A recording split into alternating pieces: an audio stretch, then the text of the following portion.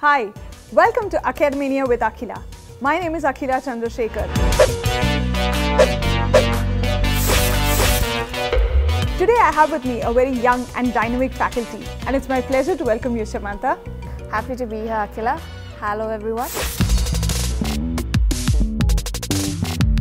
Uh, Shamantha, please tell us about yourself. So, I was born and brought up in Bangalore, like a pure Bangalorean.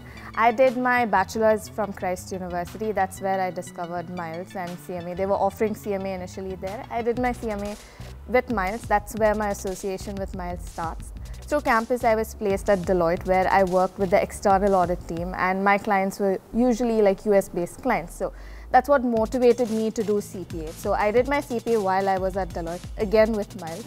And then from Deloitte, I moved on to IBM where I worked as a transformation manager. And for the past one year, I've been with Miles now.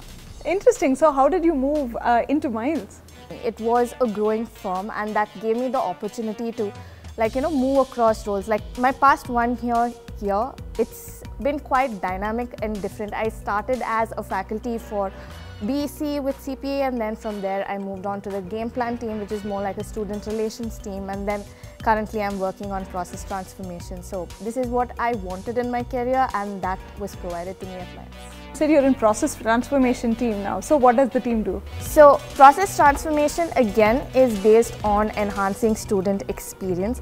So the process transformation team, one of the things that we're trying to do, especially when it comes to the LMS, is make the candidates aware of the process. Like we're trying to have a lot of videos incorporated within the LMS where they can go and refer, a lot of process manuals that can be, you know, given to the candidates. They get to experience everything that we have to offer as a student and their journey becomes much smoother. It's really interesting. So tell me, uh, you are a CPA CMA by qualification, but you've been doing so many different things. I mean, how is that even possible?